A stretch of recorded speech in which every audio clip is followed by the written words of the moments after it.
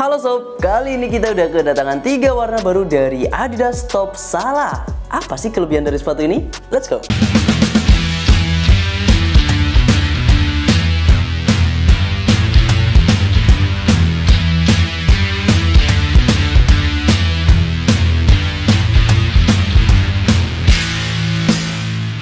Revolusi Top Salah emang kelihatan di seri competitionnya ini. Beda banget dari generasi sebelumnya.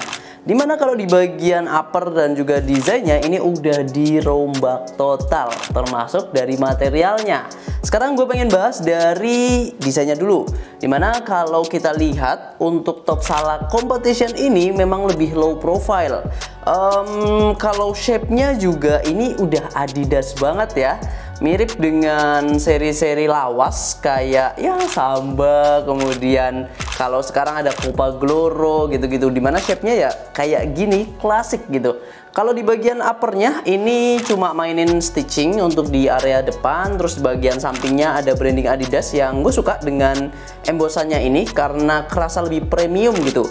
Terus penempatan branding Adidas di bagian belakang yang kecil ini juga cukup menarik di bagian tangnya juga ada brandingnya lagi dan ini lebih ke printing aja ya nah kalau bagian lainnya nggak ada yang istimewa sama sekali sih. Uh, menurut gue pribadi memang um, low profile banget dari si Top Salah Competition ini.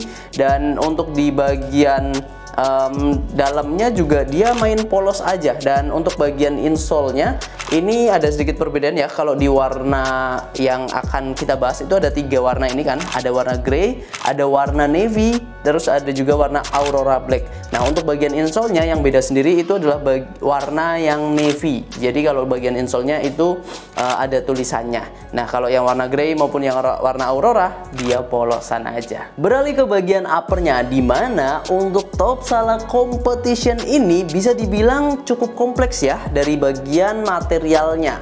Karena kalau kita lihat dari bagian depannya ini ada sweat di two capnya, terus juga full footnya ini pakai skin.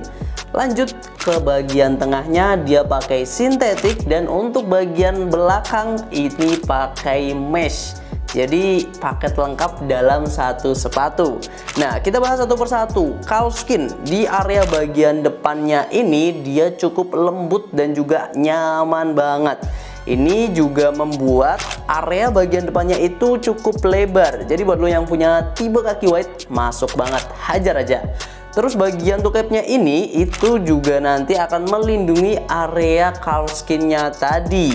Nah, ini juga sekaligus untuk memberikan sentuhan kepada bola jadi biar lebih enak nendang dan juga passingnya.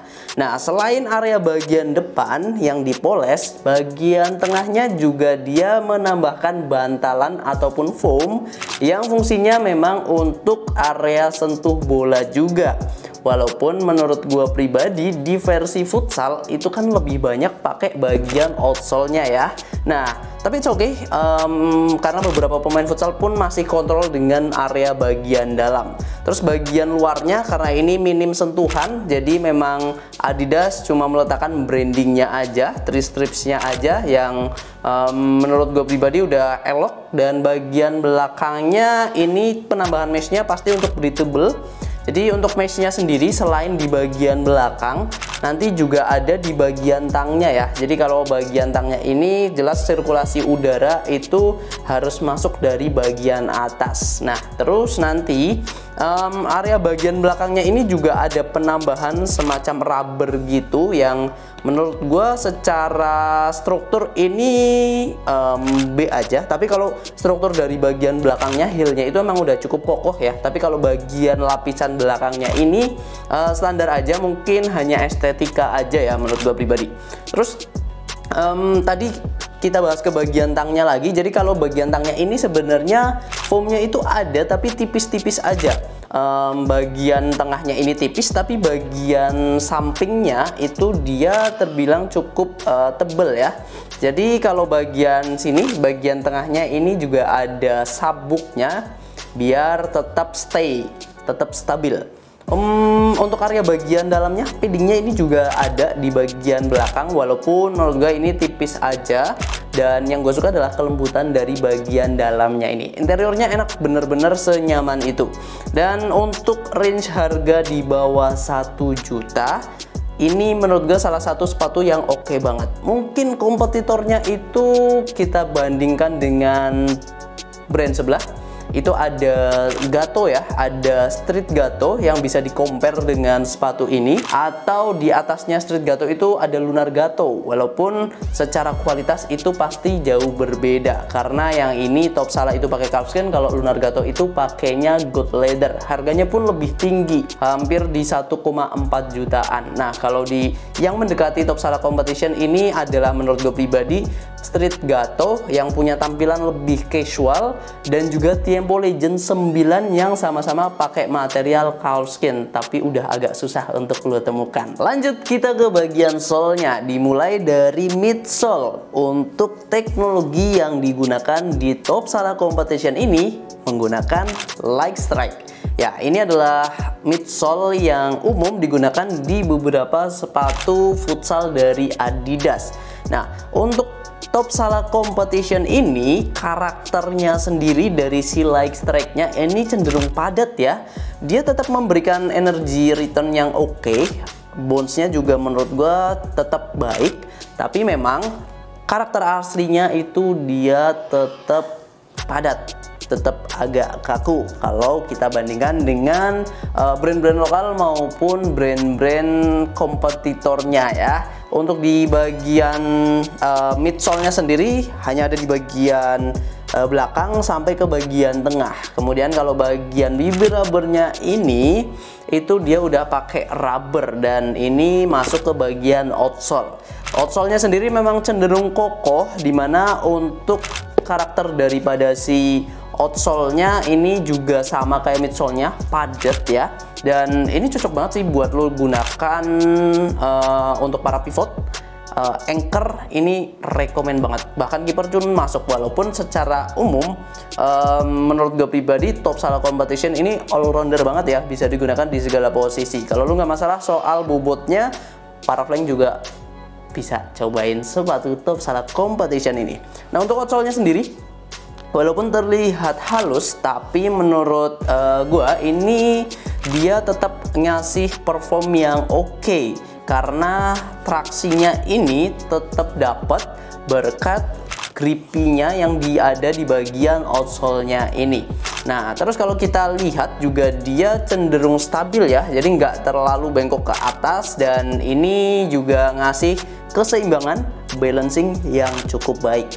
Nah, untuk di bagian uh, depannya ini juga cocok banget buat lu yang suka nendang concong karena bibir rubbernya yang tadi kokoh banget. Oh ya, untuk bobotnya sendiri di size 41 1 per 3 ada di angka 262 gram.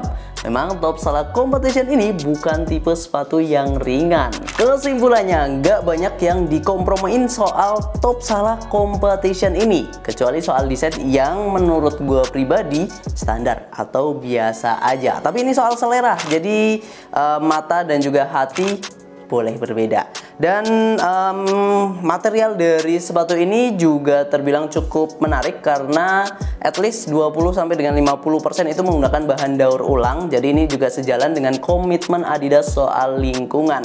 Dan untuk harganya sendiri itu ada di harga retail 1.100.000. Tapi tenang aja, lu bisa dapetin diskon cuma jadi 935 ribuan aja. Link pembeliannya udah ada di deskripsi. Nah, lu bisa mampir ke sana, ada marketplace kita di Shopee dan juga Tokopedia atau juga bisa konsultasi terlebih dahulu via admin WhatsApp Sporty ID.